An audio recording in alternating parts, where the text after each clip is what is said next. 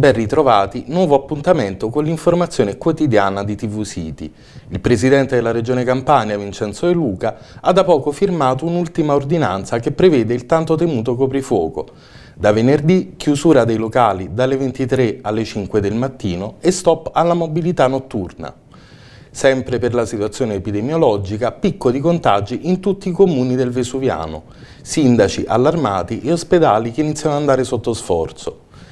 E sempre sul Covid-19 abbiamo ascoltato le preoccupazioni dei cittadini torresi che lamentano una sempre più acuta assenza di controlli. Torniamo alla cronaca invece con un arresto a San Giorgio a Cremano da parte della Guardia di Finanza, manette per un imprenditore che aveva evaso il fisco per 10 milioni di euro. I carabinieri invece hanno arrestato nell'Interland napoletano una banda di persone dedite alla bonifica di case e locali di clan da eh, microspie e telecamere per le intercettazioni. Passiamo invece di nuovo a Torre del Greco con la premiazione al liceo classico De Bottis degli studenti meritevoli di borsa di studio fornita dall'associazione Ex Alunni. Passiamo ora allo sport in conclusione con il rinvio della partita ieri Palermo-Turris.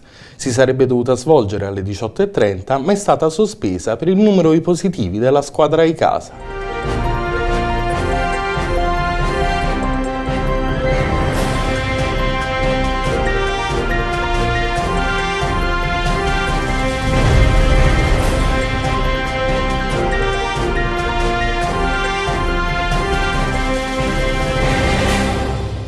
Picco di contagi nei comuni vesuviani.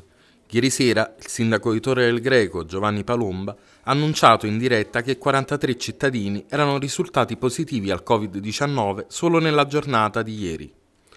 Sono quindi 128 i torresi affetti da coronavirus, di cui 6 ospedalizzati con sintomi. Numeri mai visti nemmeno nei tempi più bui di inizio pandemia.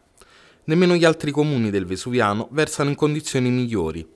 Torre Annunziata ha registrato ieri 25 cittadini positivi, 137 attualmente contagiati anche a Ercolano, dove il sindaco Ciro Bonaiuto ha dichiarato un'impennata ai tamponi positivi nelle ultime 72 ore. Una situazione gravissima che ha portato il primo cittadino a chiudere il mercato settimanale in piazza Pugliano e tutti i circoli ricreativi e centri per gli anziani. Scelte ancora più drastiche se si considera che solo lunedì Bonaiuto aveva annunciato, in pieno contrasto col DPCM emesso dal governo, di non voler assolutamente chiudere strade e piazze e, in generale, evitare misure restrittive verso i suoi concittadini. Apprensione a Portici per il sindaco Enzo Cuomo, risultato positivo al Covid. Continua a lavorare da casa, annunciato con un post su Facebook ieri sera. Nello stesso messaggio, il primo cittadino ha tranquillizzato riguardo i contagi verificatisi nelle scuole nelle ultime settimane. In pochi giorni, oltre 400 tamponi per monitorare la situazione. San Giorgio a lutto per due decessi da coronavirus. Inoltre, da sabato a ieri sono stati 69 i cittadini risultati positivi. Il sindaco Zinno ha lanciato un appello alla popolazione per rispettare tutte le regole previste da ordinanze e decreti ed ha chiesto all'ASL di accelerare i tempi per i tamponi di guarigione, fermi ormai da giorni, costringendo moltissime persone a continuare una quarantena inutile dati che inevitabilmente vanno a gravare sulle condizioni già critiche degli ospedali del territorio. Il Covid Hospital di Bosco Treccase attualmente conta 70 ricoverati per coronavirus, 14 in subintensiva e 5 in intensiva, di cui 4 persone intubate. L'ospedale Maresca di Torre del Greco, invece, si avvicina sempre di più a diventare un secondo Covid Center. Ieri il padiglione vecchio è stato rinominato Palazzina Covid ed ospiterà almeno 28 pazienti per alleggerire il carico di degenze che grava su Bosco Treccase. Situazione critica anche per l'ospedale De Luca e Rossano di Vico Equenze, anche questo destinato ad accogliere solo pazienti affetti da coronavirus. I cittadini ed i rappresentanti territoriali di Fratelli d'Italia stanno protestando nelle ultime ore per chiedere l'apertura del pronto soccorso anche ai pazienti ordinari. All'ingresso della struttura campeggia da questa mattina un lenzuolo con la scritta Non si muore solo di Covid.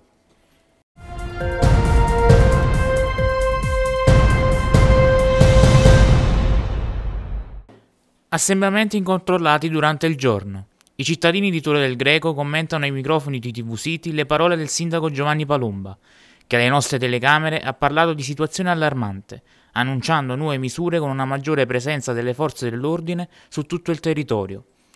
I torresi si dicono preoccupati e lamentano l'assenza di controlli. La situazione è allarmante, queste le parole del sindaco Palomba riguardo l'emergenza Covid. Cosa ne pensa? Però no, non prende provvedimenti, non ci, stanno, non ci stanno controlli per la città.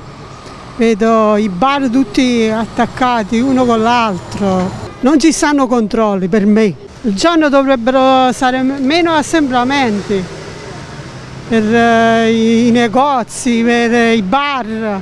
Penso che con attenzione di tutti e per il rispetto specialmente verso le altre persone riusciremo forse ad uscirne da questa situazione. Ci sono delle cose che sono essenziali e non vanno chiuse chiaramente per quanto riguarda il lavoro, però tutto ciò che può essere effimero bisogna in questo momento farne a meno un po' tutti quanti. Allarmante e senza controlli. Innanzitutto manca da loro la il vero interesse di fare qualcosa perché né la giunta né Palomba no, non fanno niente per la città. Ci vuole molto più, più pugno. Ha qualcosa da proporre all'amministrazione per la gestione del contagio? Guarda, noi che stiamo al di fuori penso di no, ma chi ci governa penso che sappia qualcosa più di noi. Le vedo una città una città con dei cittadini molto ligi al dovere, portano tutte la mascherina. Che, che altro dobbiamo fare? Non lo so, siamo distanziati.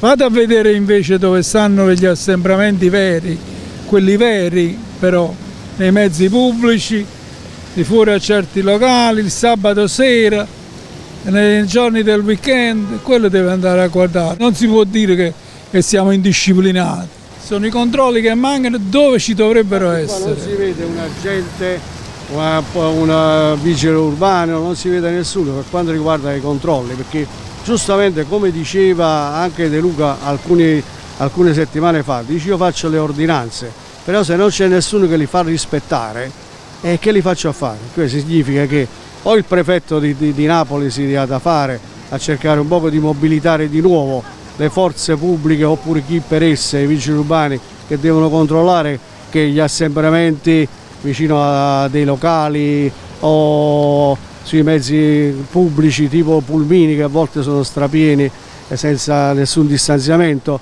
sono questi controlli che vediamo noi che mancano e poi forse c'è qualcosa forse nei ragazzi, nella gioventù che non sembra aver capito bene la gravità della situazione, specialmente se si vede il sabato sera, che qui vediamo dei gruppi di tutti i ragazzini a co. 90% ci sono parecchi di loro, vanno avanti indietro senza mascherine, vicino a prendere panini e co. Lì non c'è nessun controllo. Noi anziani praticamente siamo a casa, c'è i giovani che camminano per strada così senza nessun, nessun controllo, se si fa un lockdown un'altra volta e non so come si va a finire. In quale zone della città eh, rileva delle criticità a livello di assembramenti e quindi di la mancanza di controlli? Eh, io penso nella villa comunale dove sono assembramenti, sulla Vesuviana, eh, i posti dove sono tutti i giovani che si, si raccolgono tutti quanti là. E qua la polizia dovrebbe controllare, controllare un po' le forze, forze dell'ordine, controllare un po', eh, sì è qua, eh, queste zone è qua.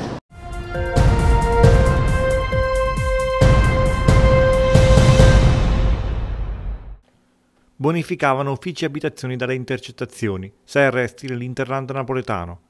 I carabinieri del nucleo investigativo di Castello di Cisterna hanno dato esecuzione ad un'ordinanza di custodia cautelare in carcere emessa dal GIP del Tribunale di Napoli su richiesta della locale direzione distrettuale antimafia nei confronti di sei soggetti gravemente indiziati di corruzione, danneggiamento di sistemi informatici o telematici, favoreggiamento personale, delitti tutti aggravati dal metodo e dalle finalità mafiose. L'attività investigativa coordinata dalla DDA partenopea e condotta dal nucleo investigativo dal novembre 2019 al settembre 2020 ha consentito, anche con il contributo delle dichiarazioni di collaboratori di giustizia, di raccogliere molteplici elementi di prova per cui risulterebbe che uno degli indagati, dipendente di una ditta fornitrice per la Procura della Repubblica di Napoli di servizi e strumentazioni per attività tecniche di intercettazione, con l'intermediazione di un ex appartenente alle forze dell'ordine, avrebbe effettuato dietro corrispettivo di somme di denaro bonifiche, rinvenimento di microspie presso abitazioni, autovetture ed uffici nella disponibilità di affiliati al clan Puca, aiutando costoro a deludere le investigazioni sull'associazione camorristica a cui gli stessi appartengono. Inoltre uno degli arrestati avrebbe materialmente danneggiato una telecamera di sorveglianza installata per fini investigativi dai carabinieri nei pressi dell'abitazione di Pasquale Puca, alias Ominoren, indiscusso capo dell'omonimo clan. Tra i soggetti colpiti da provvedimento cautelare ci sono quattro esponenti di primo piano della citata consorteria.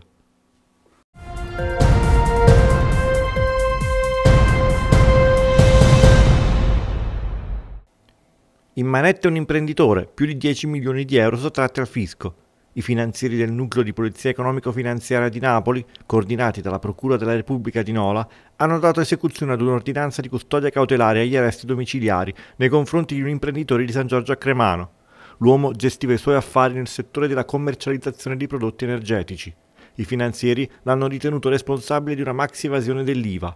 Contestualmente le Fiamme Gialle stanno procedendo al sequestro finalizzato alla confisca di beni, anche di lusso, del valore di circa 10 milioni di euro.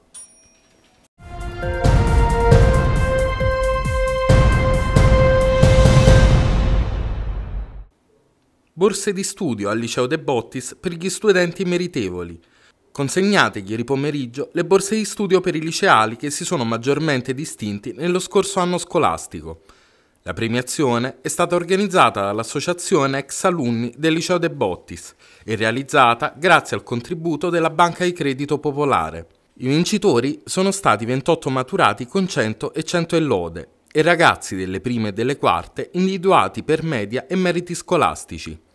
Cerimonia tipica nel rispetto delle norme anticontagio e delle ultime ordinanze regionali, in un De Bottis blindato e chiuso agli alunni.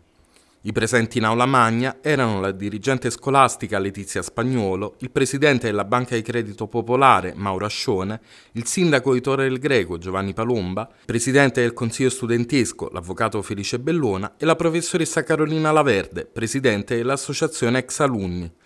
Alunni, vincitori e genitori hanno seguito la premiazione in videoconferenza.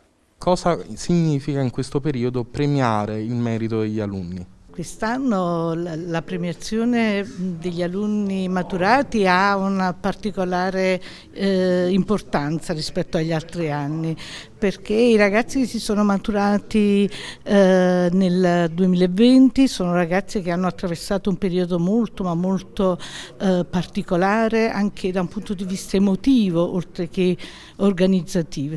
Ragazzi che hanno dovuto rinunciare alla loro festa del maturando ma che comunque mh, sono riusciti a portare dei risultati. Quindi nonostante il Covid, nonostante la didattica a distanza, nonostante eh, la l'attenzione emotivo che ci ha coinvolto questa epidemia, i ragazzi sono riusciti a portare dei brillanti risultati. Qual è l'impegno dell'associazione ex alunni in un momento del genere? L'associazione ex alunni ha, ha da statuto il compito e il ruolo bellissimo di premiare gli allievi che si impegnano nell'attività di studio. Ma noi, come giustamente ha sottolineato la dirigente, abbiamo pensato in questo nostro ritorno come associazione dopo circa eh, 25 anni, siamo ritornati ad essere da circa 4 anni, abbiamo voluto estendere questa diciamo, nostra iniziativa anche ai maturati, perché eh, noi premiamo i ragazzi per la loro assiduità, per il loro impegno. Questo piccolo dono in denaro è soltanto il presupposto per mettere in evidenza che in qualche modo li ringraziamo. Quanto loro realizzano lo fanno certamente per se stessi, però sono un bellissimo esempio per la città, sono un bellissimo esempio per i loro compagni, rappresentano una cassa di risonanza che ritiene l'associazione debba essere attivata costantemente per dimostrare che lo studio, l'impegno, l'assiduità pagano. Come si è proceduto per arrivare a questa premiazione in un periodo così difficile?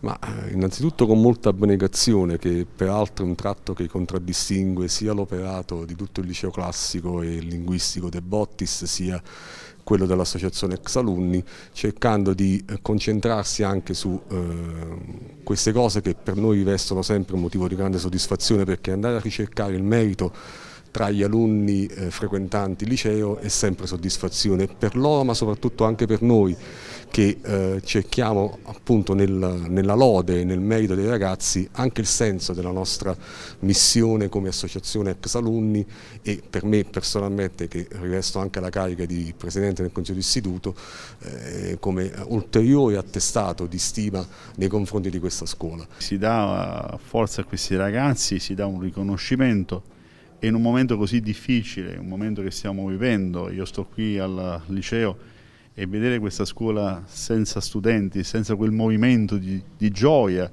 di, di ragazzi, l'anno scorso eravamo in piena attività eh, con questa manifestazione, con la dirigente, con la presidente delle, degli ex alunni del liceo dei Botti, il presidente della Banca del Popolare, siamo soli e questo rattrista tantissimo. È un momento di gioia per questi ragazzi che vengono premiati, è un momento che vogliamo dare un messaggio, si vuole dare un messaggio, eh, stiamo combattendo e nello stesso momento non, non si perdono quelle che sono le tradizioni. Questo è importantissimo. E ringrazio la scuola, il, il dirigente per queste, questi momenti che fanno sì che eh, tutto deve andare avanti, tutto deve continuare, non ci dobbiamo mai fermare. Come è importante investire sul merito, soprattutto per quanto riguarda i giovani? Ci sono dei giovani che meritano e, e, e quindi devono essere in qualche modo premiati. È un'attenzione che la banca, devo dire, con orgoglio sta avendo negli ultimi anni, soprattutto nei confronti dei giovani studenti, giovani del territorio. Eh, questa iniziativa che noi, voglio dire, supportiamo con grande piacere perché ormai è una, una tradizione che ci portiamo avanti di sostenere l'associazione degli ex alunni del liceo del Bottis, eh, lo facciamo proprio con lo spirito di essere vicino ai giovani, di incoraggiarli e di dare loro dire, una, una prospettiva futura perché anche qui c'è una banca del territorio che li vuole sostenere.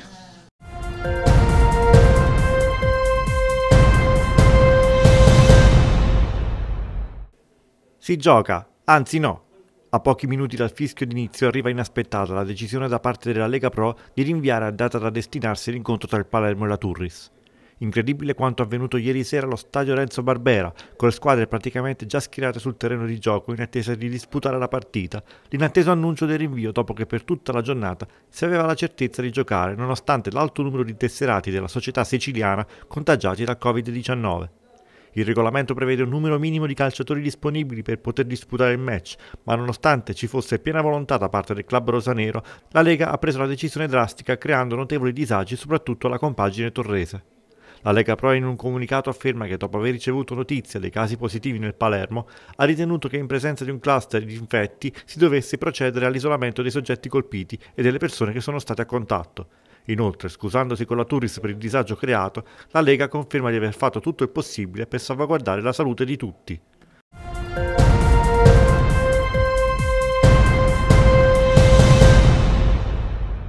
Grazie per la cortese attenzione. Per info e segnalazioni redazione chiocciolatvcity.it o il numero di telefono 340 656 1484.